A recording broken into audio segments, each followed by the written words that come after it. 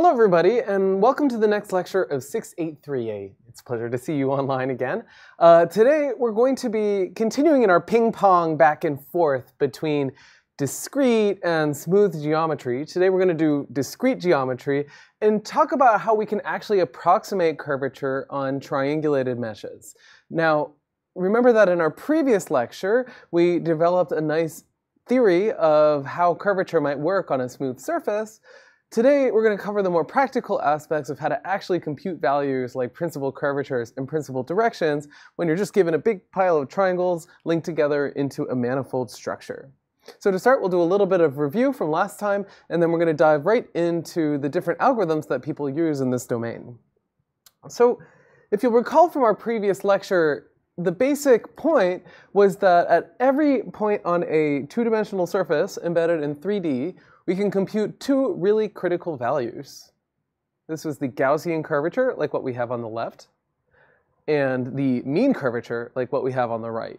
Uh, and very roughly, Gaussian curvature is what we use to distinguish between you know, bowl-shaped surfaces and hyperbolic ones, whereas mean curvature uh, is the average of the two principal curvatures and tells us something about the, uh, the magnitude, as well as how surface area changes as I modify my, my surface.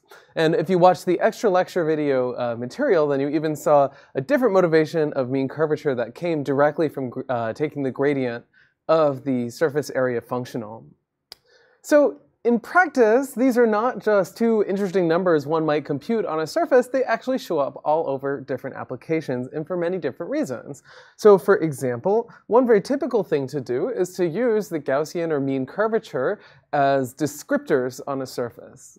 Now, this term descriptor is going to show up a lot in 6838. The basic point here is that if I pick a location on a 3D surface, like this dragon here, then the mean curvature and the Gaussian curvature are like two scalar measurements that I can take that tell me something about the geometry of the surface near those points. So for example, if I had a second scan of the same dragon model, maybe I try to match points from one dragon to the other by saying that they should have similar uh, curvature values. So uh, using curvature as a descriptor is one of these really old and useful ideas that's been around for a long time. Descriptors, uh, in machine learning, sometimes we call them features, are also useful, for example, for identifying different segments on your surface, like maybe the eyes of a 3D model tend to be concave and other parts of a 3D model tend to be hyperbolic, um, and, and many other applications. But that's not the only place where curvature appears. So for example, one theorem that we mentioned but we didn't prove in the last lecture is that if you know the first and second fundamental forms of a surface, then you can often reconstruct that surface. So there's kind of an interesting pipeline that you can use for editing, deforming, smoothing out uh, meshes in computer graphics by essentially computing the fundamental form associated to your input data surface, editing it in some way, for example, smoothing out the geometry that it kind of encodes, and then reconstructing the domain again. So here on the slide, I've given you one reference to an earlier uh, piece of research that attempts to do this, and, and many other papers uh, in, in, in, surface editing, smoothing, uh, deformation, and so on can be interpreted through this lens.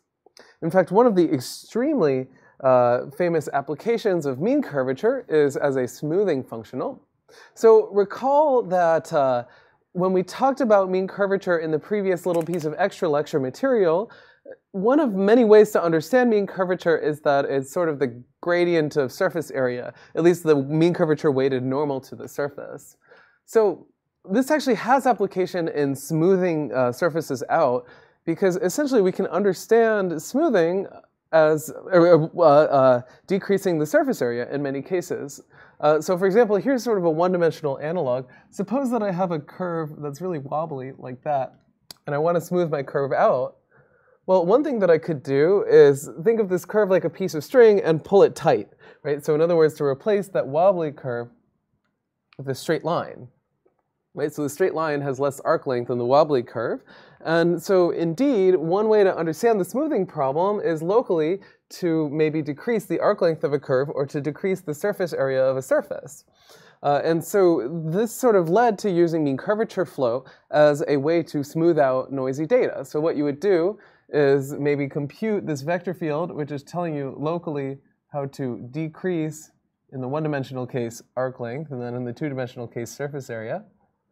And then solve a differential equation that flows your curve or your surface along that vector field to slowly smooth out the rough features. Because again, rough features add a lot of arc length or surface area. Uh, and so that's, that motivated this early work on um, implicit fairing or surface smoothing, which actually is roughly similar to the surface smoothing methods that we use today. They really haven't changed all that much. So let me erase real quick. Okay. So another application of curvature uh, appears in the non-photorealistic rendering domain. Uh, so a lot of non-photorealistic rendering techniques actually make use of principal curvature directions and, and, curvature values to guide the rendering process. So non-photorealistic rendering is essentially a technique where you try to render a 3D surface by highlighting the interesting parts or trying to make it look like a sketch or something like that, rather than actually simulating light bouncing around in the universe. And uh, so here we see an example of that. This is a, obviously not a rendering that's intended to look like shading um, from light bouncing around in a scene. And one of the typical things that we do is use the principal curvatures and principal directions to identify interesting feature curves that are worth highlighting on the uh, domain. So maybe you think of ridge curves, which are like principal curves along directions of maximal curvature locally, as things that maybe are worth highlighting when you render by drawing curves along those directions. Uh, there are other algorithms out there, for example, that try to do hatch marks on surfaces, uh, you know, similar to old school cartoons.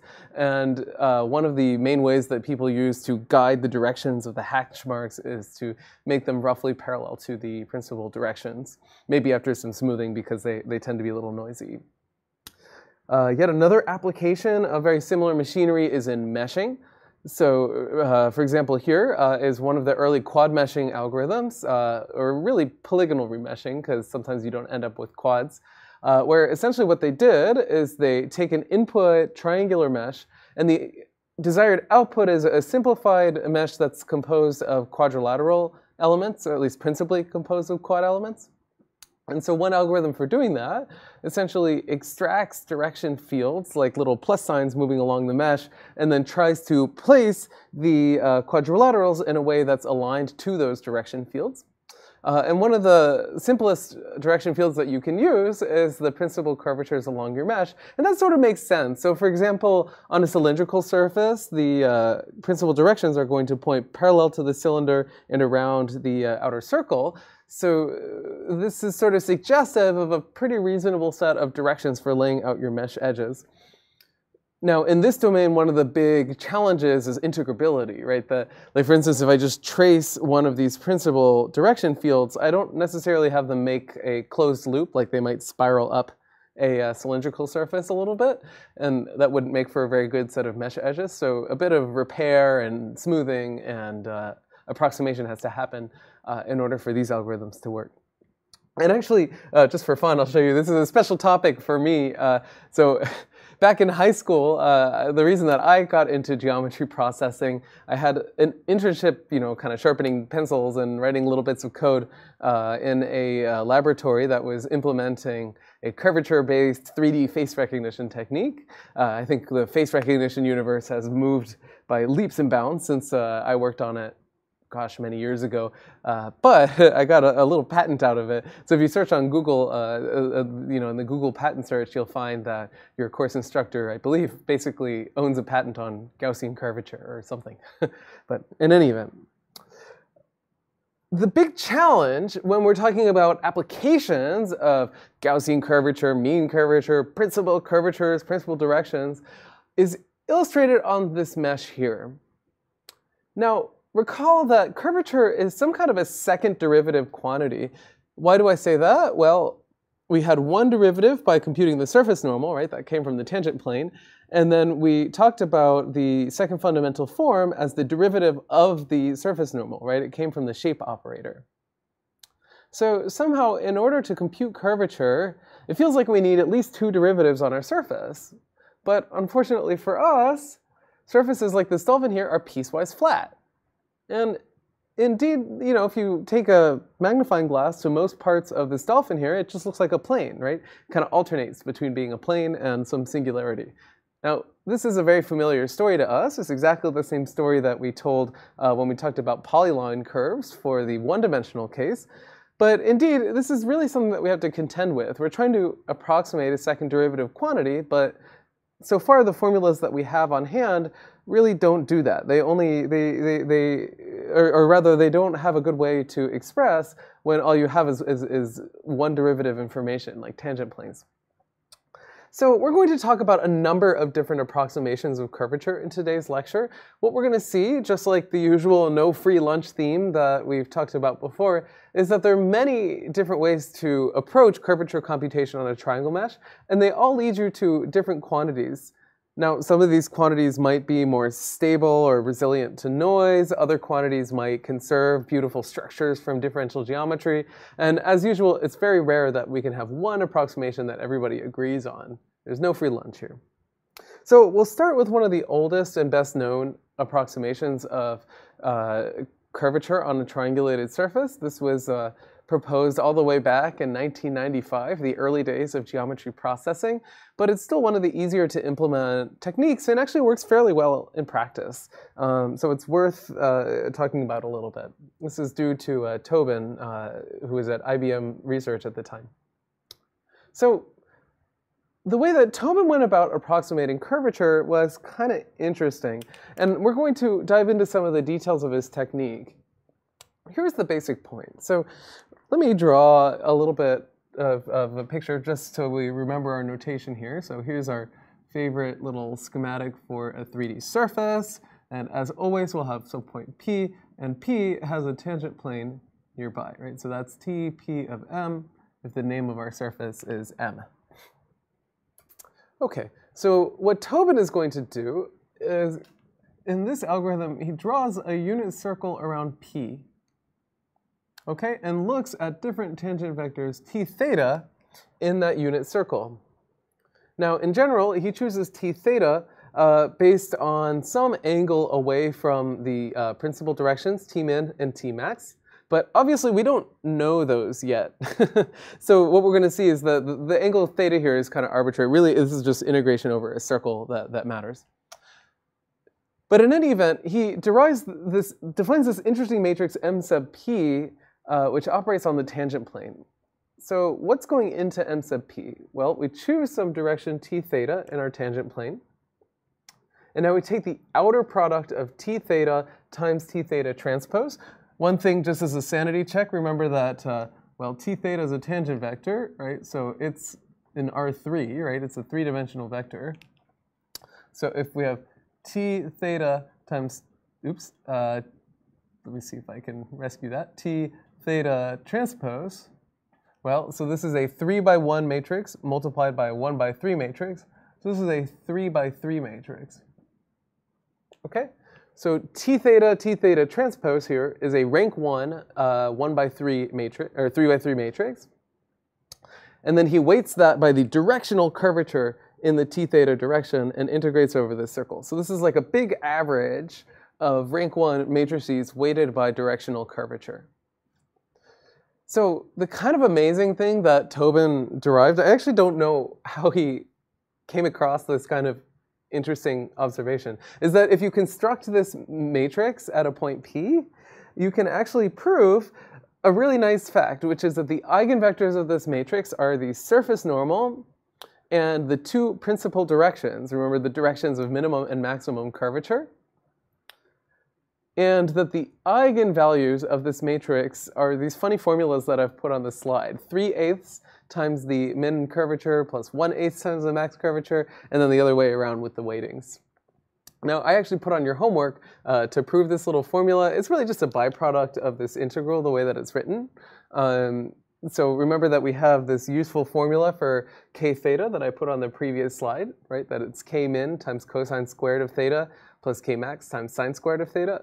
So essentially you'll just plug that formula in for k theta, and then similarly for t theta, stir the pot, and you can uh, prove the formulas on the next slide. So it's just a, a straightforward calculation. There's, there's nothing too complicated.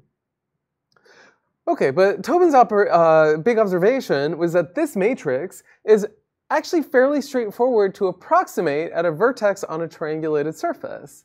And so that's how he goes about computing principal curvatures and directions, is he approximates MP at each vertex, and then computes its eigenvalues and eigenvectors. And the three eigenvectors are the surface normal and the two principal directions.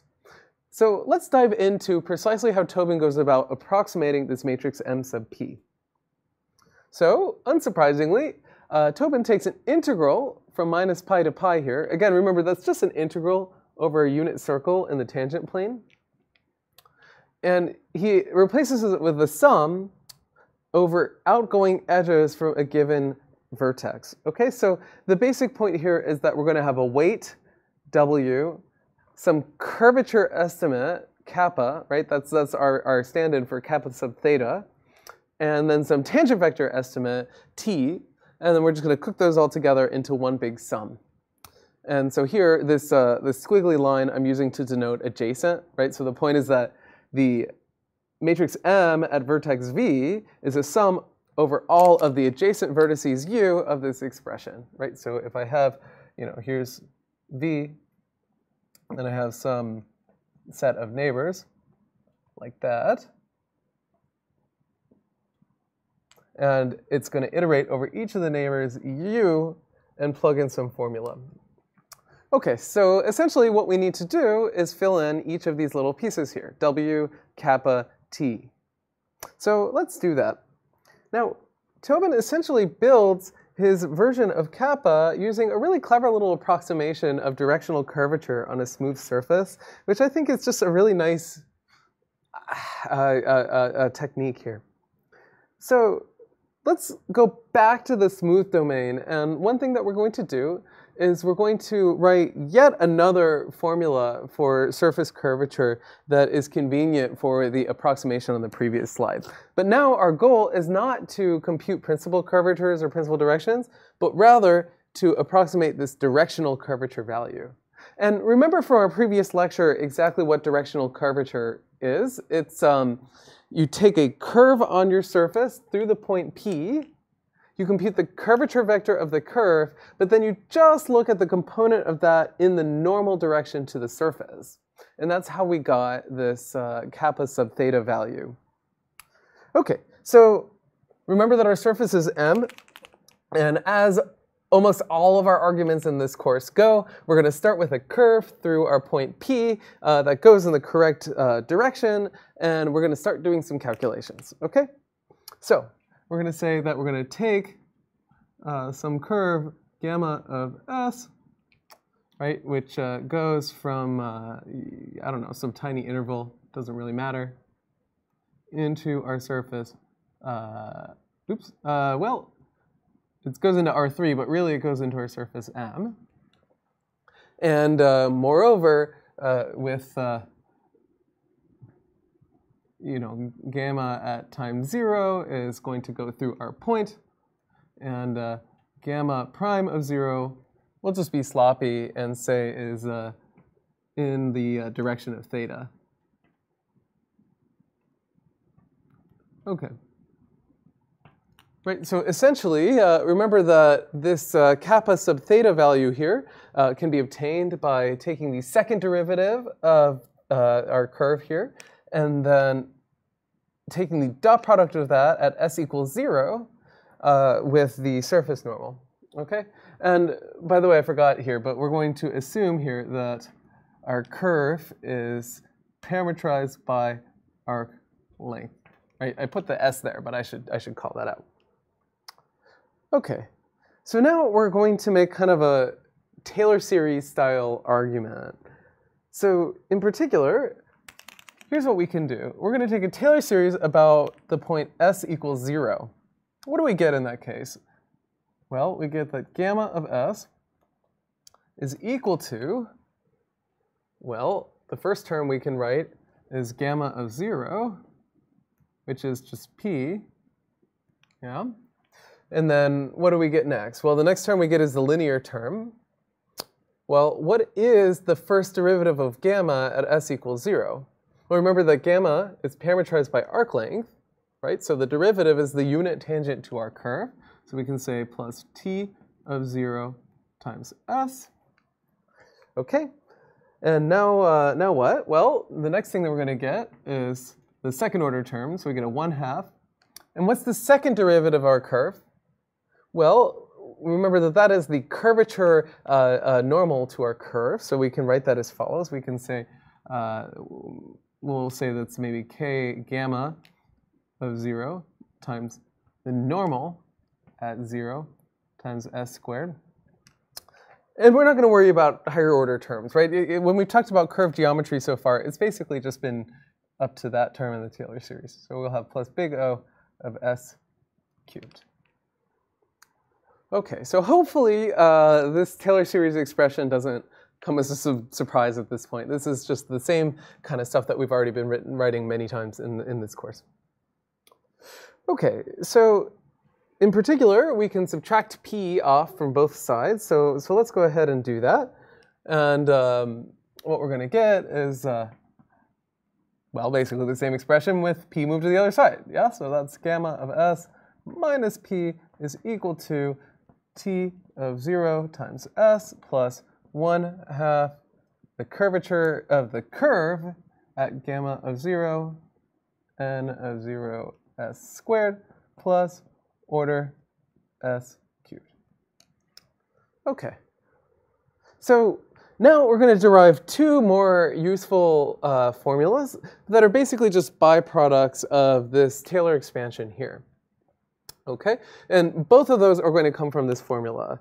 So the first thing that we can do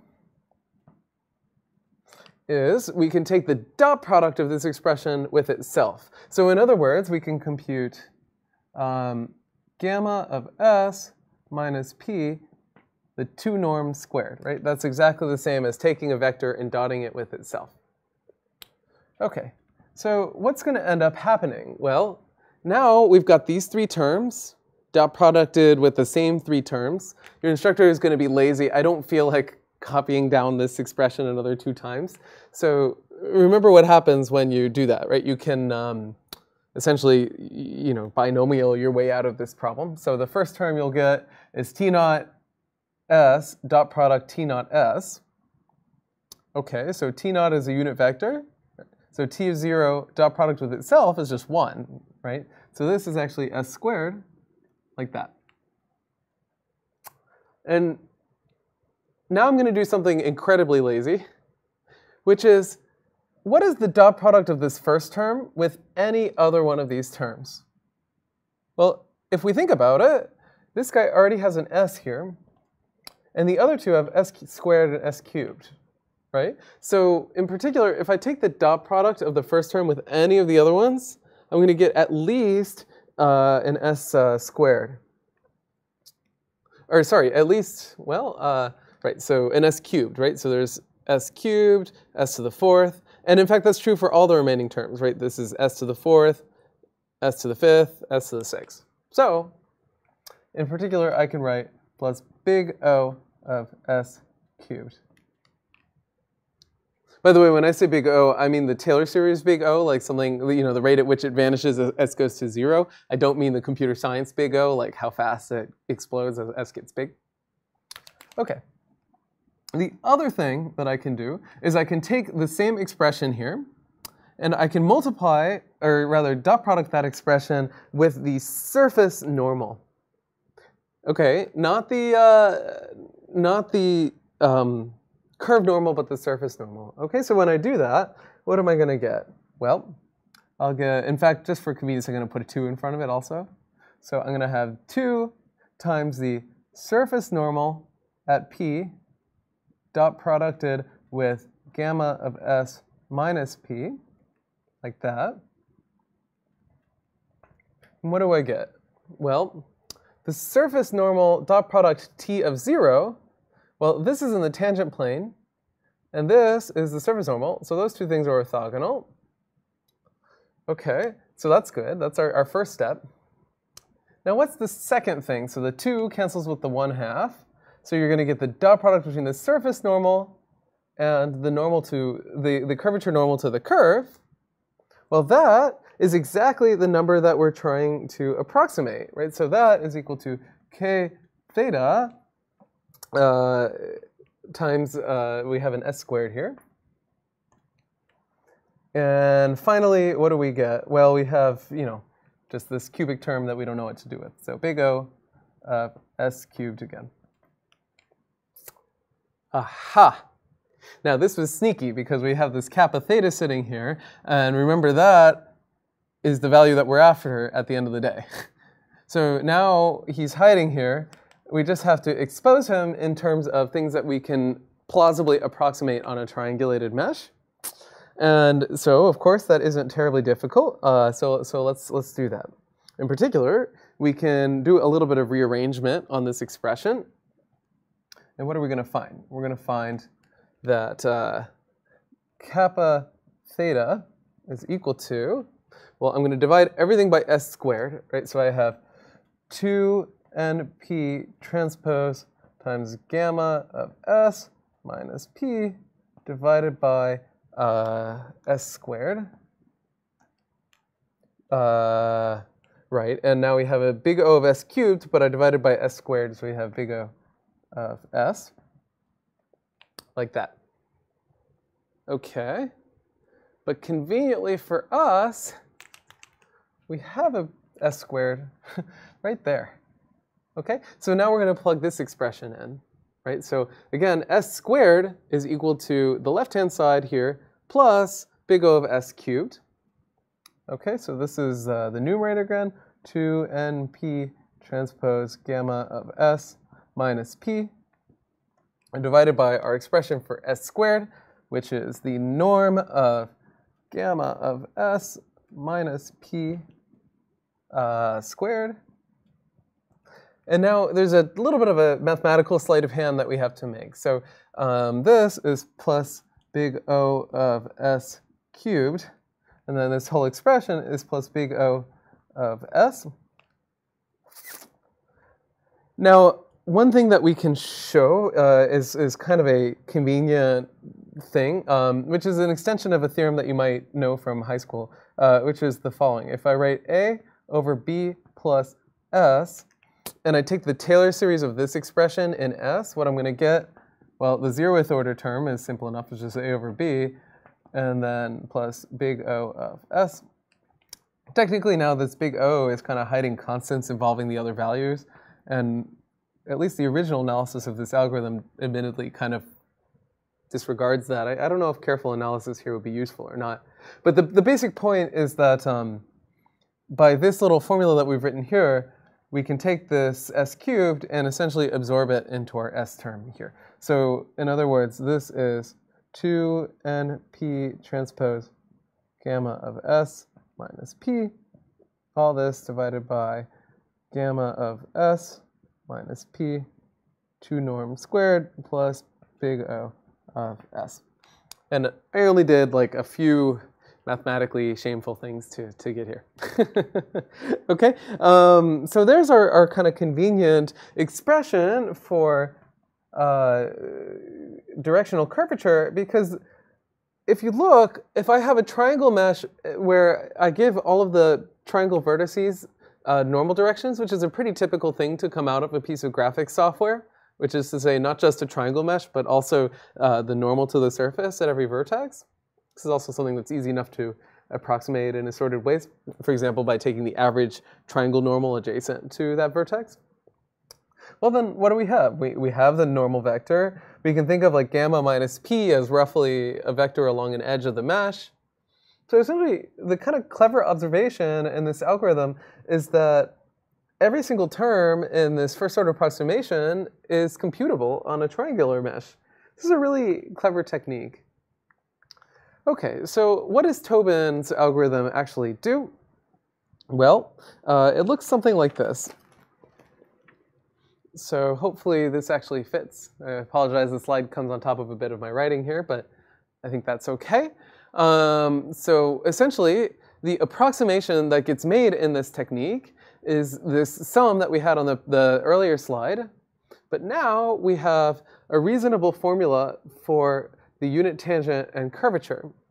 So the curvature kappa VU here is exactly an application of this formula, where all we've done is just plug in the two vertex positions and, uh, you know, gotten rid of the uh, big O of, of S here. And the TVU term, so this is supposed to be the tangent in the VU direction. Essentially, all that goes on in this formula, which I'm now noticing is missing a parenthesis, I apologize, um, is essentially just taking the vector, you know, between uh, u and v and projecting it onto the plane orthogonal to n. Okay, so there's one additional piece missing in this algorithm, which I didn't give you, which are the weights. One easy set of weights would be just 1 over the valence of my vertex, but uh, rather than doing that, um, essentially there's, there's a slightly nicer weight which accounts for the size of the, the triangle areas. So, so given the triangles, for example, what's shown on the slide, a, a totally reasonable weight, WVU, would just be essentially taking, you know, at least proportionally to 1 half the area of triangle 1 plus the area of triangle 2. Now, essentially, I'm just saying proportional because at the end of the day, I want my weights to sum up to one, right? So maybe I compute these for all of the outgoing edges from uh, vertex v here, and then I divide it by the sum. But anyway, that's that's just basically a heuristic thing, the saying that like if an edge is adjacent to two really big triangles, maybe it gets a bigger weight. But in any event, the, uh, the Taubin approximation of curvature is really pretty straightforward, right? The idea is that we have this clever first order approximation of directional curvature, which at least on a pretty dense triangle mesh will be a, a pretty reasonable value. That's the kappa thing. T, the way that we're obtaining the tangent is just by projecting the edge of the mesh onto the direction orthogonal to the vertex normal. And then we just take a weighted sum of that in the one ring, and what we get out is this matrix M. And then finally, to recover the principal curvatures and principal directions, we use that formula on the previous slide. So we essentially compute the eigenvectors, eigenvalues of M, and uh, we have all the information that we need. So there's our first approximation of uh, principal directions, principal curvatures, and from those you can get Gaussian curvature and mean curvature pretty easily. Uh, and you can see that it's actually pretty straightforward to implement. It just required a little bit of math. Okay, I'm hiding behind this wall of math here, so let's pause and, and erase for a second. Okay, so there we have it. Um, there's the uh, first method that we've managed to propose in this course for actually approximating curvature on a triangulated domain. Now, one big challenge with this technique and many of its peers is that local estimates of curvature are quite noisy. Um, so if you take a look at this sort of zoomed in figure of a surface, the surface has some slight issues with the way that it's approximated. Um, so some of the vertices are perturbed a little bit up and down. And you can see that the curvature directions that you get out of this technique end up being a little wobbly and skew from each other, even if the surface standing back a little farther is, is probably some smooth object. Now, this is a really fundamental issue with curvature approximation, just generally speaking. And the reason that I say that is, again, curvature is a derivative quantity, right? So if I zoom in really close to the surface, there's almost a philosophical question I have to answer, right? Like, is this local noise due to the fact that this surface has a lot of curvature really in some tiny neighborhood? Or is it just due to the fact that I made a bad approximation? Um, and, and either one of these are, are, are perfectly reasonable uh, conclusions, but you have to choose uh, which one. And this is some trade-off between the stability of your curvature approximation and the fidelity to the local approximation. So for example, you could plausibly take the computation we just did and do it in the two ring of every vertex to get a larger neighborhood and stabilize your local estimate. Uh, and plenty of methods out there do things like this, like maybe fit a surface to local patches of the geometry and then use the curvature of that smoothed out surface as a proxy for the curvature of the uh, mesh. Now, in general, this Taubin algorithm that we've, we've started with is suggestive of a general strategy that people use for computing curvature on triangulated surfaces. That essentially what you do is you Start with a triangulated mesh, and now around every vertex, you collect some interesting information. Like for instance, the Taubin method, we kind of assembled that matrix M out of vertices and normals. And then you do a little bit of a computation, and you pull the curvature value back out.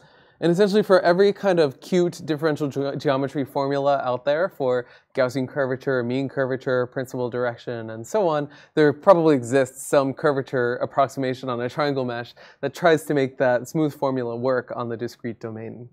So, as a little bit of a warning, there's definitely an overlap here between engineering and uh, math. You know, at the end of the day, you want a curvature approximation that's stable and has some fidelity to the smooth case.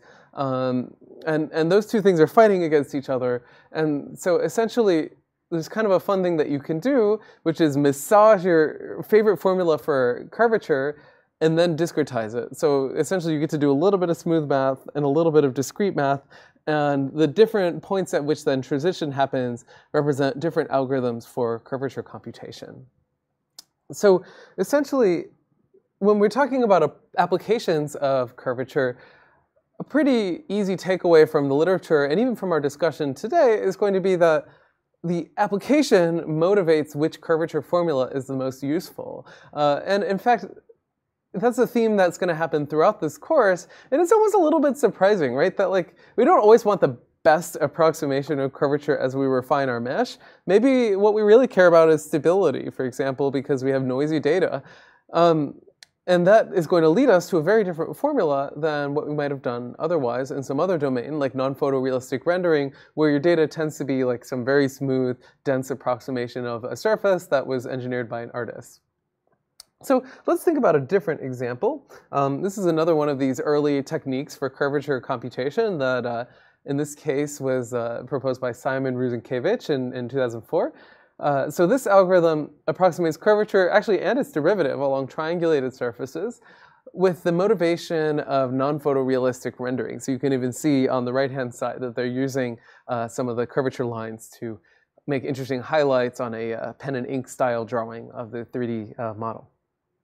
So whereas the previous algorithm constructed sort of a bespoke matrix that suited its algorithm. Uh, the algorithm in this particular research paper actually works from one of the objects that we constructed in our previous lecture, and that is the second fundamental form. So we thought about the second fundamental form as an operator, right? It took in two vectors and then output um, the shape operator evaluated in one vector direction, dot product with the other vector uh, with the minus sign in front of it. But we can also think of the second fundamental form as sort of a two by two matrix. So in particular, if we take some orthonormal basis u comma v for the tangent plane to a surface, then essentially the second fundamental form only really has four interesting values, and those are given in the slide here. I'm realizing, by the way, that there I, I made a sign mistake. I think there actually depends on which uh, textbook you use, uh, whether uh, the second fundamental form has a plus sign or a minus sign uh, in front of it. So I, I, apologize for that. But in any event, or if you oriented your surface the other way by flipping the normal, then I suppose you'd flip the sign of this matrix. But ignoring the sign for now, essentially in uh, this particular technique for computing curvature, there's kind of a clever trick that happens. So now the idea is that we make this two by two matrix uh, where we've evaluated the second fundamental format, u comma u, u comma v, v comma u, v comma v. Now take any arbitrary vector w in the tangent plane at the same point. Well, w can be written as a linear combination of our two basis vectors u and v. And because of that, now one thing that you can work out pretty easily is if I take the second fundamental form with this sign convention, sorry, and multiply it by this uh, C1, C2 vector, what I'll end up getting is the coefficients of the uh, shape operator evaluated at our arbitrary vector W uh, written in the u comma v basis, right? So that was a lot of words, but if you kind of stare at the equations here, I think you'll agree they're, they're pretty straightforward linear algebra. There's really nothing complicated going on here. It's just making use of the linearity of the differential and the linearity of dot products. That's all. Okay, so in this algorithm for approximating curvature, now we're going to discretize it per triangle on our mesh rather than per vertex. So here's the basic idea. Well, one thing that we've done now is we, we've shown how to evaluate the shape operator in the C1, C2 direction and getting the change in normal vector? Well, okay, if I have an oriented triangle mesh and every single vertex of my oriented triangle mesh is accompanied with a normal vector, well now I have a way of approximating the second fundamental form times the difference, uh, you know, like the edge vector along each of the three edges of the triangle. Right? So for example, if we take a look at the first expression on this slide, what is it saying? Well, e0.u, e0.v, that's like taking the edge e0 on the right here and writing it in this uv coordinate system, right? That's all it is. And based on the previous slide, if I take my second fundamental form and I multiply it by this 2 by 1 vector, what I get on the right-hand side of this expression is just the change in normal vector direction also written in the UV basis. So I can do that with each of the three edges of my triangle. And conveniently, we can do a tiny bit of degree of freedom counting here. So the uh, second fundamental form has three degrees of freedom, right? It's a symmetric two by two matrix when you write it in the UV basis. And now, how many pieces of information do I have? Well, I have one, two, three, four, five, six uh, pieces of information. Okay, so what we can do is write down these three expressions approximated on our mesh, and then solve a least squares problem to recover the second fundamental form uh, matrix. So basically, it's just some function of these uh, three expressions here. That's all. And so what does that give you? That gives you a second fundamental form matrix per triangle of our mesh. Um, Rusinkiewicz essentially proposes uh, doing the following. This is where the engineering really happens to make the uh, approximation a little more resilient to noise, he averages the per triangle second fundamental forms back to the vertices, kind of using a weighting scheme similar to Taubin's method. Um, this is less important. This is just whether you want uh, that two matrix per triangle or per vertex. So the per triangle approximation is on the previous slide, and then to get it per vertex, all he does is just basically add them up and divide by n in the one ring of, of every vertex. And what you get is a fairly stable second fundamental form matrix because it's sort of averaging a bunch of times around a vertex. And so there's a bit of destructive interference that can happen that can reduce noise. So that's just a second representative method. If you go onto your favorite search engine and you search for uh, curvature on a triangle mesh, there'll be a ton of different things that come up, and essentially they're all just making use of different formulas for curvature. So for example, here's one that makes use of the uh, curvature and the fundamental forms of a height function. So they express a surface locally as a graph over some plane, and then they plug in this formula. Um, there are other uh, algorithms out there that are using larger neighborhoods, maybe fitting surfaces to collections of vertices. There's no shortage of, of, of, of curvature computation methods. If you in 20, uh, what year is it? 2021, set out to write a research paper on the latest algorithm for curvature computation on a triangle mesh, you better have a good reason because there really are so many approximations that are already available. Okay, so I would characterize the algorithms that we've talked about so far as discretized algorithms, right? We haven't really conserved any structure. We've kind of used Taylor series arguments to construct quantities that look like curvature as our mesh is refined. Um, but of course, if we want to follow in the philosophy of some of the methods that we developed for curves, maybe we try to come up with some interesting conserved structure from the smooth case when we discretize curvature onto a discrete domain. Now, there are many papers out there that try and do this. Uh, here, we'll talk about one particularly well-known one, which was one of the early papers in discrete differential geometry. So this was a paper from you know Caltech and USC at the time uh, that covered discrete differential geometry operators for triangulated two manifolds, which are exactly the domains that we're talking about today. And they gave techniques for computing both Gaussian and mean curvature that are sort of built from smooth formulas adapted to the mesh domain in such a fashion that they preserve some of the properties exactly. So if you recall, the, the basic philosophical motivation between, behind methods like this is structure preservation. The idea is that there's so many interesting topological and geometric structures out there in the smooth theory of differential geometry. For example, like integrating the curvature of a plane curve and getting its winding number, that sometimes we can come up with discretizations of relevant quantities that actually conserve these theorems exactly, right? Like we had a, a, discrete winding number theorem for our discrete curvature that truly integrated to 2 pi, where we kind of replace integral with sum over vertices. And now we're going to do something similar for curvature on a triangle mesh, which is a really nice sort of piece of gymnastics here. So in order to do that, unfortunately, I'm going to have to quote a theorem that we don't get to prove in our lecture. You know, the challenge with a course like this one is that we have to cover advanced differential geometry in half the time of a math course because we're also doing all this computational stuff.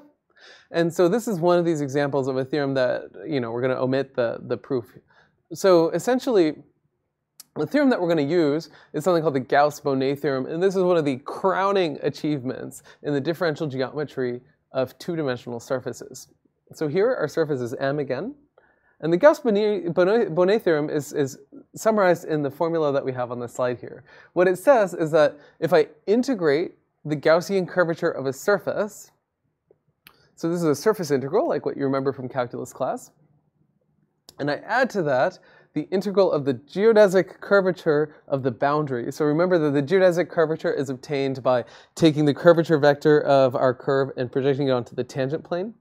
So we're going to uh, integrate that with respect to surface area around the boundary of our domain, then I actually get a topological invariant. I get 2 pi times the Euler characteristic of our domain M. And if you recall from a few lectures ago, um, the Euler characteristic is 2 minus 2 times the genus. And if you have a boundary, then it's also minus the number of, of boundary components, n. So we're not going to be able to prove this uh, fact, it's an interesting fact to show uh, and sort of one of the crowning things in differential geometry, but it requires more work and, and a bit more sophisticated machinery than we currently have at our disposal in this course. But this is a beautiful kind of structure that we might want to preserve in our discrete differential geometry constructions, right? It says that there's some topological invariant of our domain, like the number of holes, that is expressed by summing up a bunch of curvature values, which are just local derivatives. By the way, this is a surprising fact, right? This is not at all intuitive, at least for me, given the way that we define Gaussian curvature in this course. But what it's saying is that like if I take a surface and I punch it like a piece of dough or stretch it out and fold it and so on, as long as I don't poke a hole in that surface, the total integrated Gaussian curvature remains the same, which is ridiculously interesting and cool. Okay, so the question is, can we come up with a Gaussian curvature measure that is associated to some discrete Gauss-Bonnet theorem? And obviously the answer is yes, or else I, I wouldn't be talking to you today. Okay, so here's how we're going to do it. We're going to use a really sneaky trick. So uh, what we're going to do is draw a Voronoi cell around every vertex. And we're going to talk about curvature not as a point-by-point -point value, but rather integrated over the Voronoi cell. So the first thing that I have to do is define Voronoi cell. and uh, the, you know, after that, um, we can start defining our, our curvature measure. So let's move our slide out of the way a little bit. Right, so first of all, what is a Voronoi cell?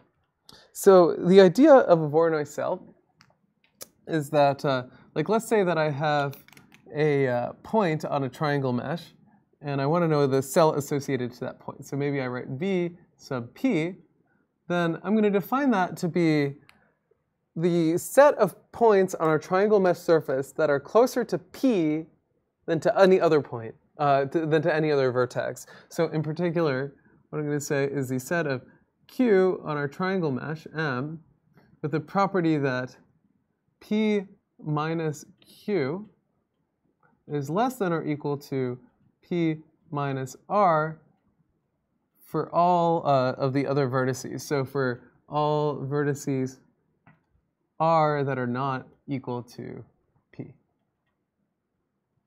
Right, so for example, within a single triangle, um, let's say, uh, let's see if I can manage to replicate the one here. So it kind of looks like what uh, this, and then it goes down and across, something like that. The uh, Voronoi, essentially this triangle can be divided into three cells where what you do is you kind of draw three lines going inward from the three edges. I did a really poor job of that.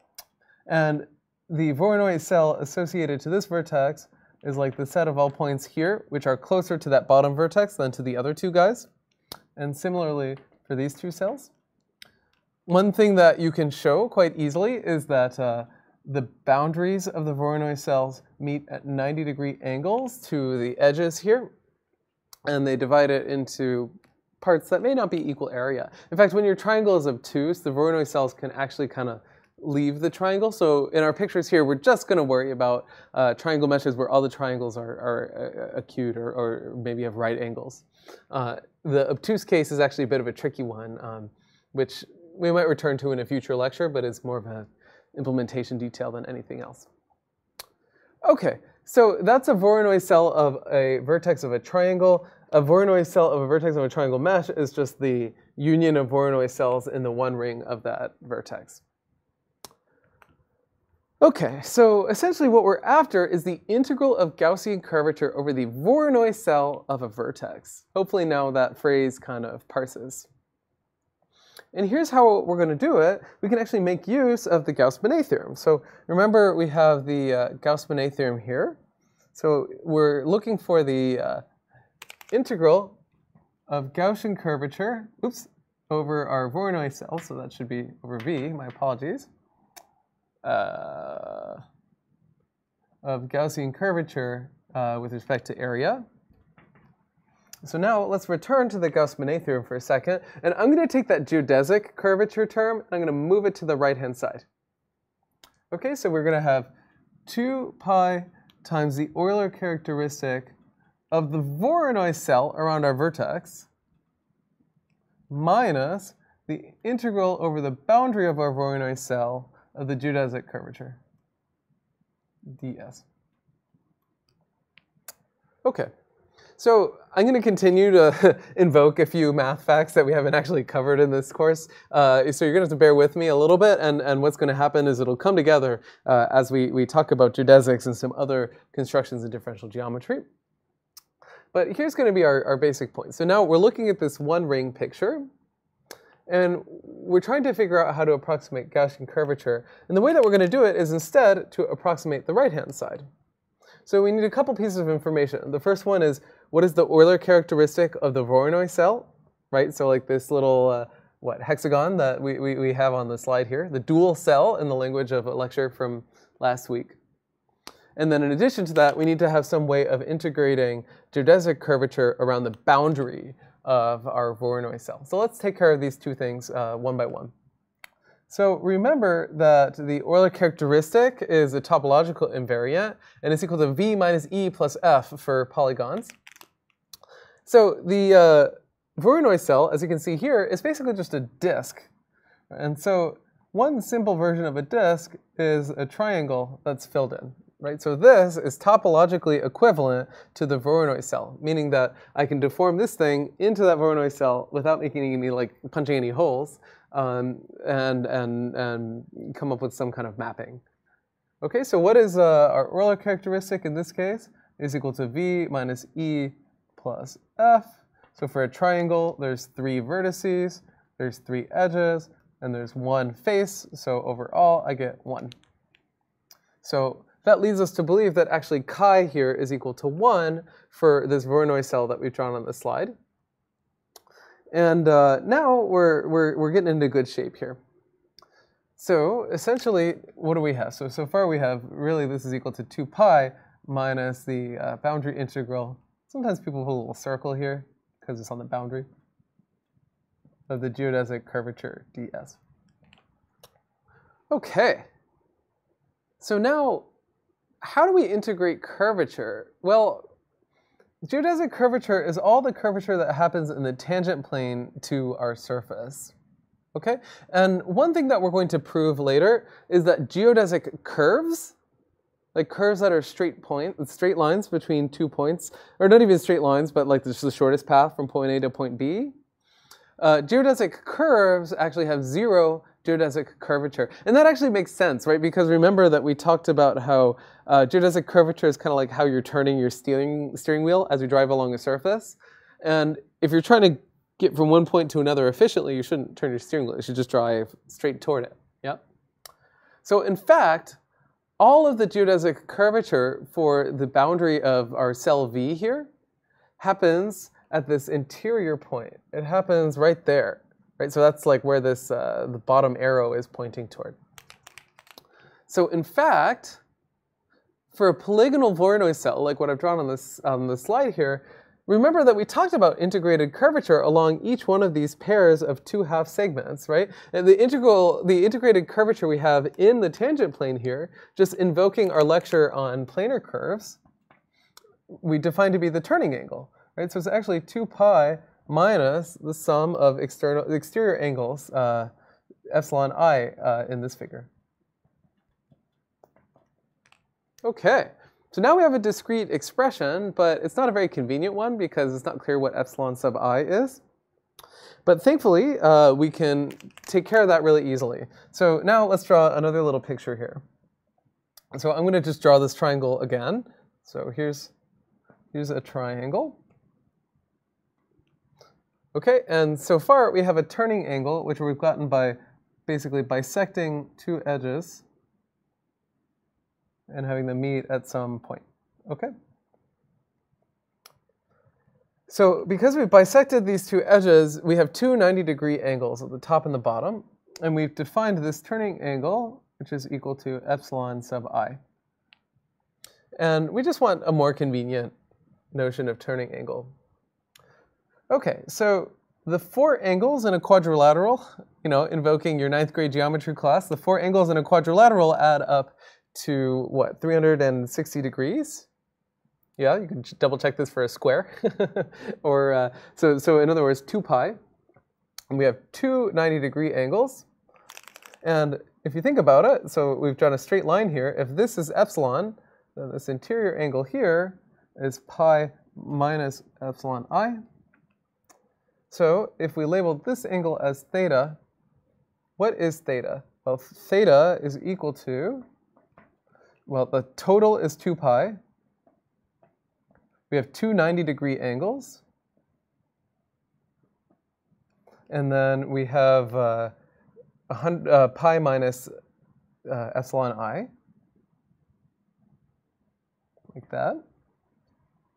Okay, oh, that's supposed to be at times. So what do we get? We get 2 pi minus pi is pi, minus another pi, so now we got 0. And what we're left with is that, pi, that theta i is equal to epsilon i. So in other words, our uh, integrated curvature value can equivalently be obtained by taking 2 pi and subtracting off the sum of interior angles theta i, like what I've shown you uh, in the image here. And let's kind of pause for a second and make sure that this is a sensible notion of curvature or at least integrated curvature, right? That's, that's where we started. Um, so for example, let's say that I take a totally flat domain. So just a bunch of triangles in the plane that meet at a point, like that. Well, one thing that you might remember, well, is that the sum of angles around a point on the plane is just equal to 360 degrees, or 2 pi uh, radians. So for Gaussian curvature, what are we going to get? we're going to get 2 pi minus 2 pi, or 0. Yeah? So the integrated curvature in the one ring of this cell is just equal to 0. Similarly, you know, if I have a, uh, I don't know, a tetrahedron, so let's see if I can draw one like that. Okay, so we expect the uh, Gaussian curvature of this thing to be positive, right? Because a, a tetrahedron is kind of bowl-shaped. And indeed, if you think about it, when you sum up the three interior angles, one, two, and then there's like a third one cutting across the back, well, if you, you know, if you need to think about extremes, take these three points and move them really close together, you convince yourself that these angles get really, really small. yeah? So you have 2 pi minus a small number, and you get a positive value for Gaussian curvature. Also, something a little bit interesting is that well, you can't get like an unboundedly ginormous value of Gaussian curvature when it's integrated over the cell. I'll let you think about that one for a little bit. And now similarly, if you have a hyperbolic surface, right, so one way to get a hyperbolic surface might be to erase one edge in our, our one ring here and kind of insert a divot, right, so like some extra surface area. it's hard to draw, but like think of this vertex as kind of moved into the screen a little bit. Well, now I've essentially added to the theta i's, right? If I take some points and I just take one point and kind of drag it out of the plane, the two triangles adjacent to it got bigger. So what ends up happening? Well, now the integrated Gaussian curvature is negative, and that kind of makes sense because we have a saddle-shaped domain.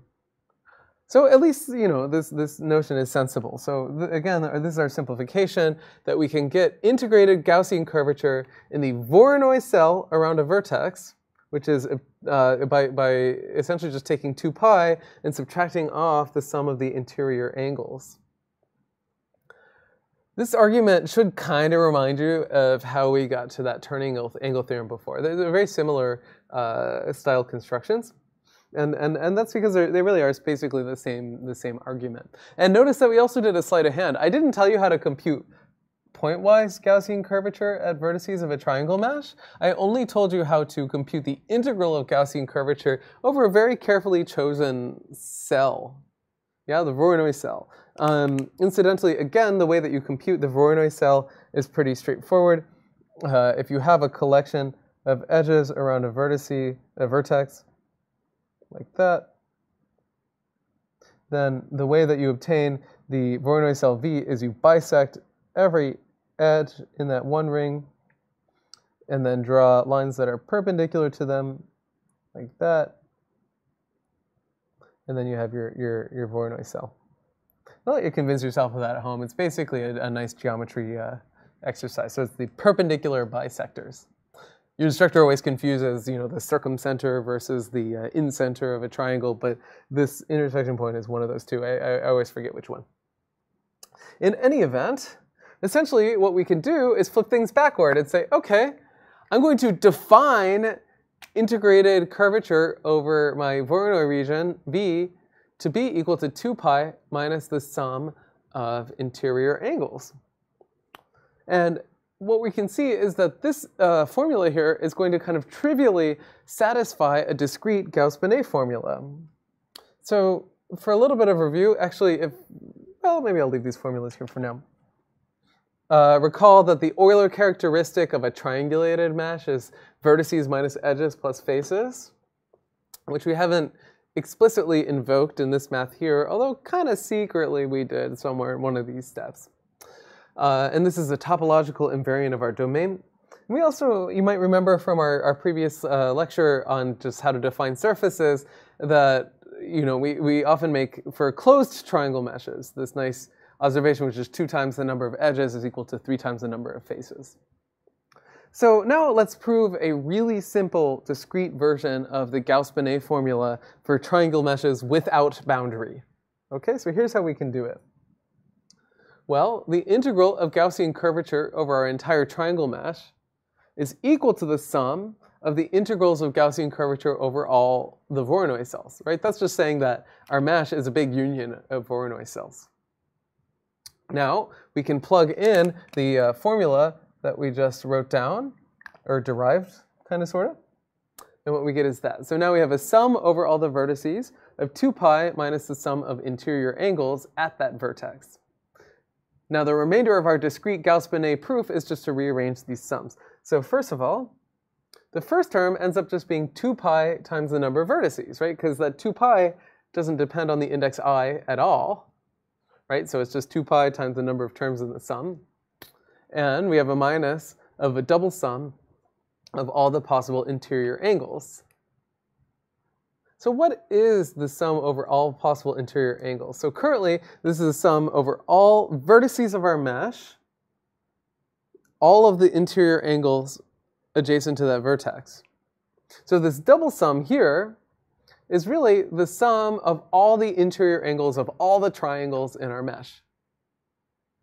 Okay, but the sum of interior angles on one triangle is equal to pi, right? That's just sort of a high school geometry fact. So really, what we know is that that second term is equal to pi times the number of triangular faces on our domain.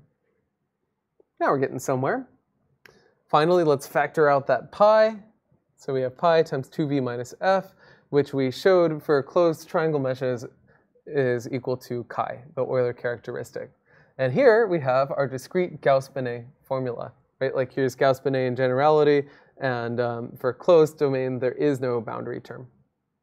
So there's our like kind of sort of QED uh, style term. And that's it. So there's a, a kind of nice structure preserving notion of integrated Gaussian curvature. Again, just like always, this is the Gaussian curvature integrated over the Voronoi cell. If I wanted an honest to goodness estimate of Gaussian curvature at that vertex, then I should really divide this value by the area of the Voronoi cell. And that makes sense, right? Because otherwise what can happen, you, you know, if you refine your triangle mesh to a smooth surface, you can convince yourself that this value will go to zero. But if you divide by the area, then it'll actually approach the, the Gaussian curvature, which is what you want. Um, there's a typical bug in code, like somebody will implement this formula and use it for Gaussian curvature, but that's not quite right. It's integrated Gaussian curvature, so you get an estimate by dividing by the size of the Voronoi cell. Okay, so let's uh, erase this and then keep going. Okay, so we've tried our hand at deriving a structure preserving notion of Gaussian curvature. And the remainder of our discussion, we're going to do the same thing for mean curvature. So, um, right. So if you recall, uh, one thing that we showed about curves is that when we move in the curvature weighted normal direction, this actually corresponds to somehow moving in the uh, gradient of arc length direction. Um, and that's something that we uh, prove on the homework, and I also did basically for you in one of those extra lecture segments. And then in the latest extra lecture segment, um, we also derived a more complicated version of the same fact, um, which is that if you take a gradient of surface area, you get the mean curvature weighted normal uh, to your surface. And in particular, if you do the gradient descent procedure until you get to zero, um, you end up with a domain called a minimal surface. So my colleague Keenan Crane has done a really nice job of illustrating what minimal surfaces look like. They're um, typically hyperbolic. If you think about mean curvature equals zero, that kind of makes sense because one principal curvature has to be positive and the other negative. Um, and they really are, are, just basically bubbles, right? Like so, so bubble surfaces are minimal surfaces because bubbles want to spread out, you know, minimize surface area as much as possible. So to come up with some structure preserving notion of mean curvature, one thing we could do is start from this fact, which is going to be easily discretized, and then make it work on a triangular mesh domain. So in particular, if we have v vertices on a triangle mesh, then we can think of area as a function from r to the 3v into r1. so essentially r to the 3v here is saying that there's a position in 3D of every vertex of every triangle on this mesh, and then knowing the positions of all the vertices and keeping the topology fixed, we can output the area of the mesh as a function of that long list of vertex positions. So what we're going to do is just an analogy to this sort of mean curvature gradient relationship here. We're going to do the same thing by just taking the gradient of this area functional that maps from vertex positions into surface area. And thankfully, well, surface area is just the sum over all the triangles of triangle areas, so we can do that with pretty classical style reasoning. So let's get started. So here on the uh, upper right, I've given you a triangle. Uh, this is going to be the uh, object that we're working with. And in particular, we're going to put the triangle in a really convenient uh, reference frame for the three vertices. So what I'm going to do, because I don't need to copy it on the left since it'll persist on the uh, slide here, is I'm going to set up a coordinate system of three orthogonal and unit length directions. One of them is going to be parallel to the bottom edge of our triangle. That's the vector E on the bottom. One of them is going to be perpendicular to E, but in the triangle plane. That's this E perp that you see on the top. And then a third direction, N, is going to be the normal direction to the triangle. This is an orthonormal basis, and it stays fixed. We're not going to move it around. Okay, so now we're going to take a point P on the top of our triangle, and we can write it in this coordinate system, right? So it's equal to the part in the normal direction plus the part in the edge direction plus the part in the edge perp direction. This is just XYZ coordinates in a, again, a coordinate system I chose to make my calculation as easy as possible. Okay, so of course, one thing that we know is that we can compute the area as 1 half base times height right? That's our uh, favorite formula in uh, high school geometry, which is equal to 1 half times the width of our uh, triangle, the base, times its height, where, uh, just to make sure that we're all on the same page here, uh, if we have a triangle, uh, like this, for a second I was struggling to draw a triangle, right, then the base is down here and the height of the triangle is the length uh, of this thing that we drop down at 90 degrees, like that. Okay, and in particular, in our picture here, our goal is going to be, remember that we're trying to differentiate area with respect to the positions of vertices of a triangle. So I'm going to differentiate area of this triangle with respect to just the top vertex P. Okay, and by construction, the area of P, well, it's equal to 1 half times the base times the height and the height of the triangle, you can convince yourself, is actually uh, can be written as a pretty nice expression. So it's equal to the square root of pn squared plus p perp squared. You might notice that there is not a PE uh, term here, and that's because remember that the height of the triangle is the length of P projected onto the plane uh, between n and e perp, right? Because the b term is already taking care of everything parallel to the bottom edge. Okay, and we're going to think of a as really just a function of that vertex p. And the question is, as we perturb p, what happens to the area of our triangle? Sorry, this is a messy letter a. It's supposed to be a letter a. I'm not making it better by overwriting it many times. okay, so essentially what we have to do is compute the gradient of this expression. And in order to do that, I am going to glance at my notes. Okay. So in particular, what is uh, the, we have to take the gradient with respect to the three coordinates, Pn, Pe, and P perp. Now the easiest one is Pe because it doesn't appear in this expression, right? So the gradient, the derivative of area with respect to Pe, it's supposed to be an E, yikes, I'm struggling today, is equal to zero.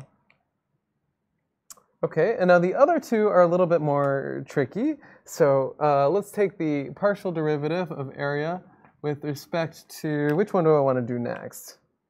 How about Pn? Well, we have this expression here, right? So it's 1 half times the base.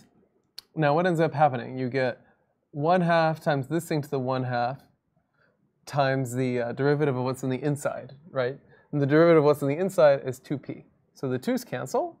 What we end up with is pn divided by the square root pn squared plus p perp squared.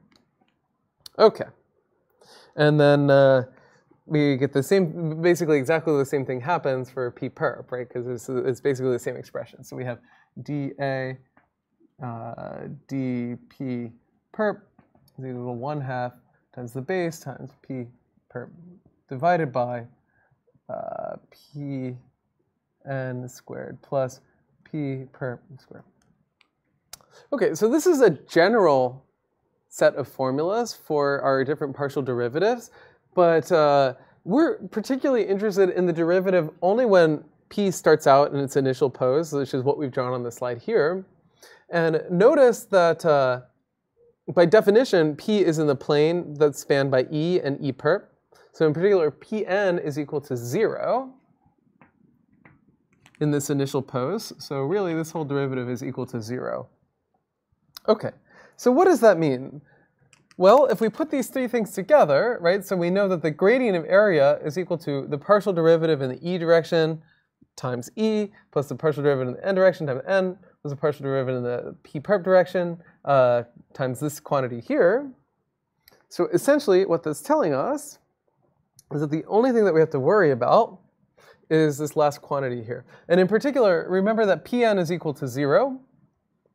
So what that's gonna end up with is the square root of P perp squared. So that's just P perp, those cancel, we get one half B.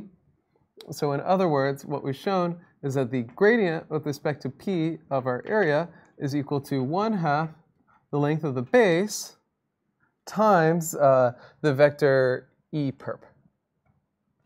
Okay, so that, I believe, is shown on the next slide here. Yeah, so Good. i am doing math over here, and it agrees with what's on my laptop.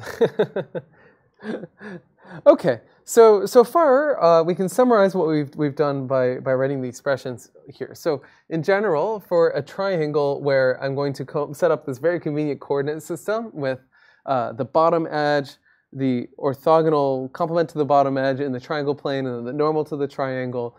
The area in general, as a function of p, can be written as as what I've, I've shown in the second row. And in the third row, I've taken the gradient of, P, of area with respect to P, evaluated at the original point P. So the point is just getting perturbed out of that plane. All right, so now we're going to derive another convenient formula here. And by the way, this is just kind of a fun formula to know from trigonometry anyway. And that's the ratio of the base of a triangle to the height of a triangle. So here we have a triangle, and h, this, uh, this vertical line, is meeting the base of the triangle at 90 degrees. Okay, so I'm going to subdivide the bottom edge of the triangle into two segments, one of length L1 and another segment of length L2, and the height of my triangle is h. I've also written two angles, alpha and beta. okay, and here's kind of a little known trigonometric formula that I think is kind of cool, which is to give us the ratio of the base to the height of a triangle. So that looks like base divided by height. Well, the length of the base here is L1 plus L2. So of course that's L1 over height plus L2 over height, like that.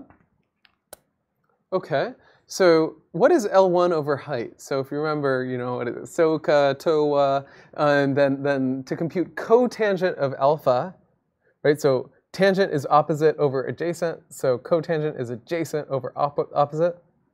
Right, so cotangent of alpha is L1 over H. Oops. Yikes. And cotangent of beta is L2 over H. Okay, so L1 over H is cotangent of alpha, and L2 over H is cotangent of beta. So that's just kind of a fun fact that the sum of cotangents is equal to the ratio of base to height. And in fact, we can actually make our picture a little finer than that. So now we're going to step up our game a tiny bit. and we're going to define a height vector, h. So the height vector points perpendicular to the bottom of our triangle, straight up and into the point P.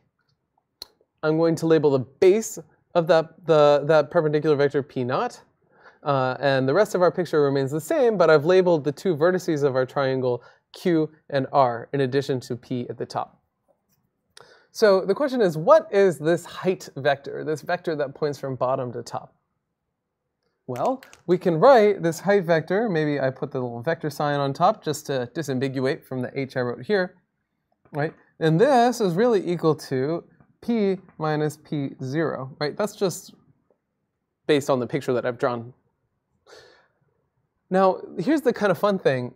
I can write p0 in terms of all the quantities that I've labeled on this image here, right? In particular, p0 is sort of a weighted average of q and r, where the weights have to do with the ratio of L1 and L2 to the whole length of the edge right? So I can say the following, that this is really equal to p minus, I'm going to try and do this without looking at my notes, which is always a mistake. So for example, let's say that L2 is equal to the whole length of the uh, row, right? The whole length of the bottom edge. So if L2 is equal to the length of the bottom edge, that means that P0 is equal to Q, right? So in other words, we can think of it as like L2 over L1 plus L2. So if L1 is 0, well, then I'm at Q, right? So, so that should be like that, plus L1 divided by L1 plus L2 times uh, R right? And this is kind of like just, uh, you can think of it like barycentric coordinates or just weighted averages. You know, I'm just sliding a point P0 between Q and R, and these are the averaging weights because they have to do with the proportions of the length of our bottom edge here. Hopefully I've done that right. I am going to glance at my notes. I'm sorry, not that sorry. Okay, so here's what we're going to do. We're going to take these two fractions here, and we're going to just divide them by the height of our triangle on the top and the bottom. We can always do that, right? So it's L2 over H, um, L1 over H, L2 over H, and so on. The reason to do that is that now these look like cotangents, right? So in particular, what we've shown is that this is equal to P minus, okay, so L2 over H is the cotangent of beta, time, so that's divided by cotangent alpha plus cotangent beta. And then we have a similar term here, but now we have uh, cotangent of alpha divided by the same sum.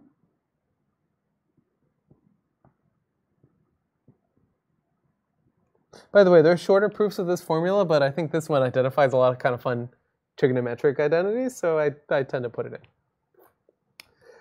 Okay, so for our next trick here, what we're going to do is we're going to start with our uh, formula for the gradient, and we're going to use these two expressions here to make it a little bit tidier. Okay, so again, so this is our formula star here.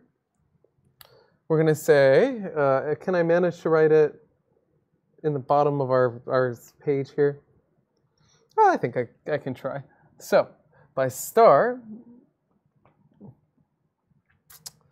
well, we know that the gradient with respect to p of the area of our triangle is equal to 1 half base times uh, e perp, right? So this is 1 half b e perp, just like that. And what is e perp? Well, in some sense, it's h divided by its norm, right? That's, that's all that we're, we're doing here, okay? So again, I can write this as 1 half b divided by the norm of the height vector, which is this h value here, times the height vector. Right? And essentially, remember, that's just because e perp is equal to h divided by the norm of h. Now I'm going to plug in our two expressions here. What do I get? Well, b over h is cotangent alpha plus cotangent beta, which conveniently cancels out the denominators here. So I get that this is equal to 1 half times the following. So we have cotangent alpha plus cotangent beta, and all of that times p minus, uh, oops, I forgot a q here. Uh, cotangent beta times q minus cotangent alpha times r. Like that. Okay. And finally, I can uh, factor this expression a slightly different way because notice that I have a p minus r times cotangent alpha and I have a p minus q times cotangent beta, right? So at the end of the day, this, ah, just barely going to fit it here, is 1 half. And now let's pull out cotangent alpha times p minus r plus cotangent beta times P minus Q. Now, returning to our picture here, this is kind of a funny expression, right? So remember that P minus R and P minus Q, those are just two edges of our triangle. so that's pretty good shape. And what do they get weighted by? So P minus R gets weighted by cotangent of the opposite alpha, and similarly for P minus Q. Okay, so this is summarized on this much tidier slide in case you can't read my bad handwriting. but this uh, derivation here is identical to what we just wrote on the bottom of our page. And again, essentially what it's saying is that at the end of the day, if I want to differentiate area with respect to the position of a vertex, I can get that as a weighted average of the two edges adjacent to that vertex, p minus r and p minus q, where the weights come from cotangent of the opposite angle. Now, this is one of these funny things where in geometry processing research, this cotangent function shows up all over the place, which is kind of funny because I feel like you don't spend a whole lot of time on cotangent in uh, trigonometry in high school, but you know, that's life. Okay, So that's our basic expression for how to differentiate the area of a triangle with respect to one of its vertices. Notice that we chose a really convenient coordinate system, but by the end we managed to get rid of it. um, so this is written just in terms of the positions of the vertices and the interior angles, which is pretty nice and really what we were aiming for. Now, of course, we don't want to just differentiate a single triangle's area with respect to uh, a vertex. We want to differentiate the area of a triangle mesh with respect to the position of a vertex. So that looks something like this. So obviously, a single vertex is just connected to its one ring. So if I talk about differentiating the area of a mesh with respect to a vertex, that's really like differentiating the area of a one ring with respect to a vertex, which is what I'm showing you here. Right? So all I've done is taken this formula I have at the bottom of our blackboard here, and just summed it over all of the outgoing edges in a one ring of a vertex. And what I get is this formula here. So the weight of every edge, if I regroup where instead of doing it by triangle, I do it by edge, the weight of the edge like P minus Qj gets two cotangents, one from either opposite angle. And that's just based on rearranging this formula here after we sum it over the one ring of the vertex P. Okay, so again, to summarize what we've done so far, if I want to take the gradient of the area of a triangle mesh with respect to a vertex P, the way that I should do it is by writing this sum, which appears at the top of the slide here. So essentially what this sum is telling us is that I'm going to take a weighted sum of the outgoing edges from vertex P, where the weight of an edge is equal to the sum of the, the two cotangents that are opposite that edge. Now, one thing that you can observe here is that actually, as you refine a mesh, like you make the triangle smaller, well, clearly P minus Q gets smaller and smaller and smaller, and the cotangents, it turns out, don't explode.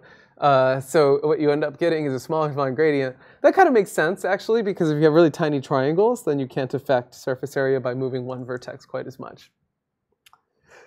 Okay, so I'm going to erase some of these scribbles so I have somewhere to stand, and then we'll continue. Okay, so now that we have this nice formula, uh, typically what we do is we, we kind of flip things backward and we say that we can make a definition, which is of the integrated mean curvature normal. Well, remember the mean curvature normal is the first variation of surface area. We're going to say the integrated mean curvature normal over the Voronoi region around a vertex is equal to exactly the quantity that we just defined. Now, the reason that we can think of it like integrated is that when I move a vertex, I don't just make an infinitesimal change to my surface. I, I affect in a positive way all the vertices in the one ring of that, that, that, or rather all the triangles in the one ring of that vertex by a positive amount. So this really is some kind of a curvature um, estimate, and then it turns out that dividing by area does give you a reasonable estimate for mean curvature. Notice incidentally in both of these last two things that we did, right? So this version of mean curvature and uh, our version of um, Gaussian curvature obtained by summing up interior angles. Even though we defined curvature initially by computing the second fundamental form and taking its eigenstructure, we didn't actually end up doing that in either of these computations. And, and that's really because we chose one of many ways to introduce those two really critical values, and, and some of the other ones could be motivated without ever making reference to that fundamental form. So again, the pipeline that we've sort of proposed here is that you can compute integrated uh, mean and Gaussian curvatures by using the formulas that we've laid out, which are just like sums over one rings. And then if you want some estimated pointwise value, you can divide by the area of the Voronoi cell. So I would argue that the, the structure that really does have, that is preserved is, is mainly hiding the first bullet here. The second one is a little bit more of like a divided difference approximation. No, there are all kinds of other discrete mean and Gaussian curvatures out there. So for example, another formula out there for uh, mean curvature tries to integrate it along um, geodesic curves, and then you can end up with yet another definition, which is using some triangulation applications. So if you're interested in this particular formula, which is kind of obtained by like integrating over a tiny little cylindrical piece of a surface that um, is illustrated here, uh, I refer you to this textbook that I've, I've referenced in the slides. And you know there are other ones out there too. So for example, uh, there's some variational problems like smoothing that can require curvature measures. In that case, you might want something kind of stable, differentiable. So there's a nice research paper out there um, by uh, some of the usual suspects in discrete differential geometry for giving shape operators in, in this particular case. Um, or if I just want a robust estimate, uh, that there, there's methods out there that do that too. So most of the ones that we've discussed in lecture today, notice that they just involve a vertex and its one ring. Um, if you want a more robust estimate of curvature with probably a little bit less preserved structure, one way to do that is maybe to include larger ring neighborhoods of a vertex in your curvature estimate, like for example, fitting a little surface locally and then taking its curvature. That's robust, right? You're sort of incorporating more data at every vertex, but notice that it's a little bit strange in the sense that Curvature is a derivative. You shouldn't need a big neighborhood to compute it. So as always, there's a trade-off between robustness and, and fidelity. And of course, these are just a few of many other strategies. You could locally fit a smooth surface to its vertex and its neighbors. You could write down a different formula. You know, maybe it's a, a, some function of curvature, and you can choose where to place the different values on the triangle mesh and, and analyze the convergence. Then finally, there actually are some methods in the last couple of years that try to learn curvature computation. So maybe I only have a noisy piece of geometry in front of me, and I'm trying to learn this differential quantity um, by looking at the geometry, inferring the smooth surface underneath it, and then outputting its uh, curvature. I think this is sort of an emerging strategy, one that's not super popular, but you never know. We'll see what arises in the future. So my practical advice for those of you who have confused by giving a million different operations that you could use that all give you estimates of, of curvature is to try as many as you can. Many of them are just formulas on a mesh. They're not terribly complicated. So you might as well implement all the ones that you think are relevant to your application and see which one performs best in practice. So with that, we've concluded our discussion of curvature, which is sort of our very first useful quantity that we can compute on a uh, triangulated domain. And we'll continue in this course next by talking about other things that we can do on surfaces, namely computing distances and curves between different pairs of points. So with that, I'll talk to you next time.